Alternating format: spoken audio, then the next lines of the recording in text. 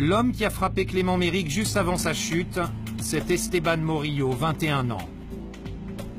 Les quatre skinheads ayant pris part à la bagarre sont arrêtés dès le lendemain. D'après les premières informations, ils seraient membres de deux mouvements d'extrême droite, Jeunesse nationaliste révolutionnaire, les JNR, et Troisième Voie. Troisième Troisième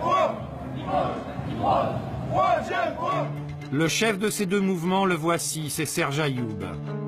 Serge Ayoub, un mythe dans le milieu de l'extrême droite violente. pas se tenir les règles, hein Oh, tu vois pas qu'il fallait pas Au début des années 80, lorsque la violence d'extrême droite était au plus haut, il était le chef des skinheads néo-nazis parisiens.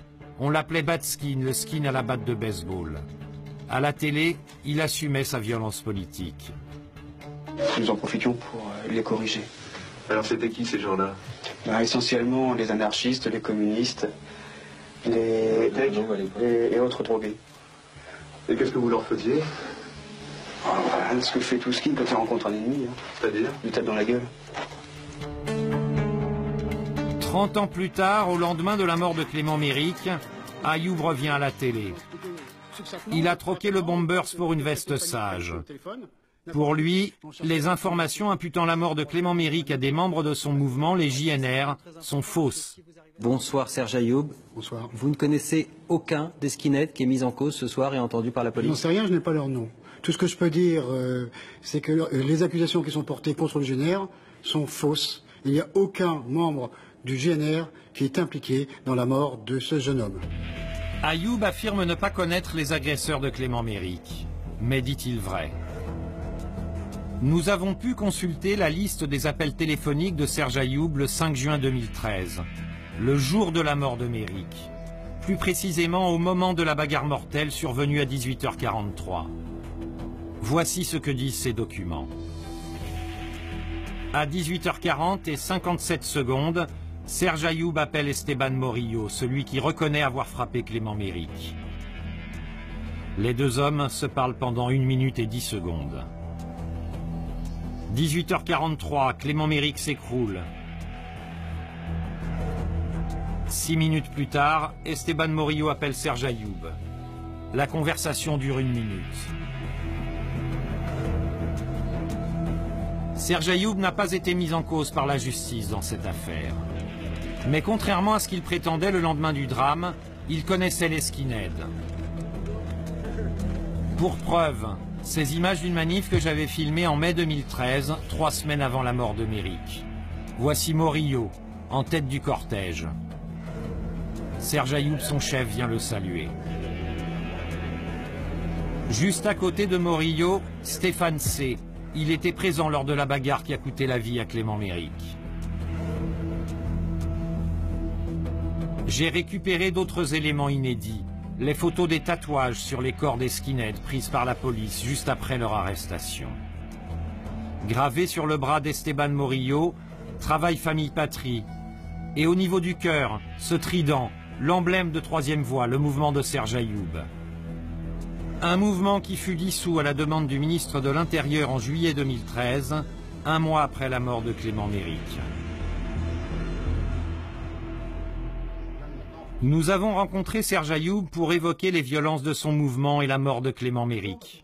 Votre euh, mouvement, Troisième Voie, euh, a été dissous il y a à peu près un an. Euh, Est-ce que vous êtes un mouvement violent ou pas? C'est pas à moi de répondre, c'est à la justice. Et euh, en trois ans d'existence,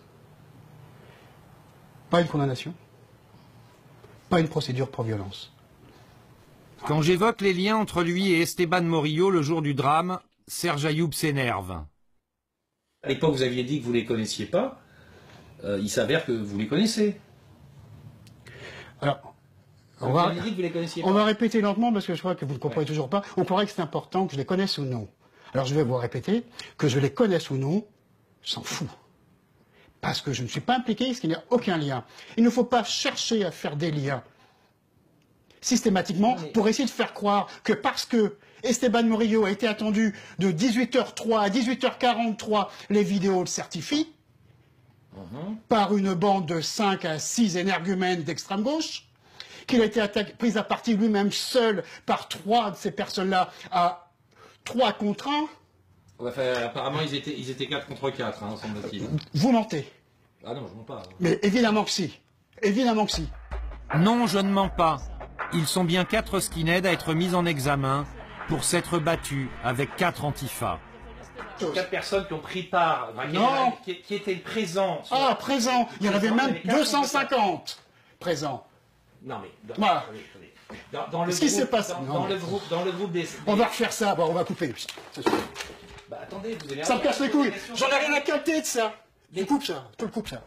Je le coupe. Je vois. Oui, oui, bah, il va couper. il va C'est couper, fait Il va Non, c'est encore trop court, je le vois là. Autre élément pris en compte par la justice. Un vigile surveillait la vente privée. Il refuse de parler devant une caméra, mais il a déclaré à la police avoir signalé aux skinheads la présence des antifas devant l'église et leur avoir demandé de prendre la direction opposée vers le métro. Les skinheads ne l'ont pas écouté. Une autre question intrigue la justice. Lors de l'attaque, certains skinheads étaient-ils armés de poings américains? Alex et Julien l'affirment. Ils sont sortis tout de suite euh, dès, le, dès le moment où ils ont déclenché la bagarre. Mais vous, vous n'avez pas eu de blessure par point américain? Si, si, moi j'ai une blessure sur l'avant-bras Oui. euh, qui correspond à, à la trace d'une dent de point américain. D'accord. Clément Méric a été frappé par un point américain, d'après ce que vous avez vu. Oui, Oui. Par qui? De manière certaine par, euh, par Murillo et, euh, et très probablement par une autre personne, mais euh, difficile à, à identifier.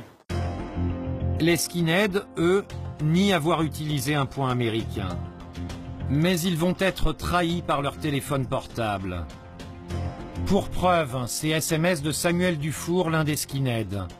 Peu après la bagarre, voici ce qu'il écrit à un de ses copains. On les a défoncés, 5 contre 3, mort de rire. Je sais, je sais, t'es grave. Qu'est-ce que ça fait encore? J'ai frappé avec ton poing américain. Au moins, maintenant je sais que tu cognes. Plus tard dans la soirée, nouvel échange. Appelle-moi, et surtout s'il y a quelque chose, n'en parle pas. On parle de nous sur BFM. T'aurais pu réfléchir avant de faire ta connerie. Ok, Attends que je te telle. Pas de SMS. Appelle Serge. Serge, c'est Serge Ayoub.